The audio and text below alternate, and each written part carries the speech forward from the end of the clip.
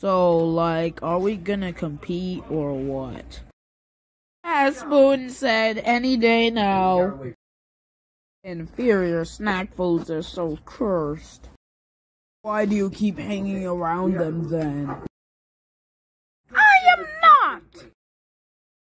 It, you don't have to hide anything, we know the truth. What truth?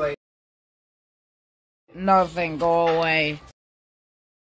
Well, the poor bacon fell over. Where is season two?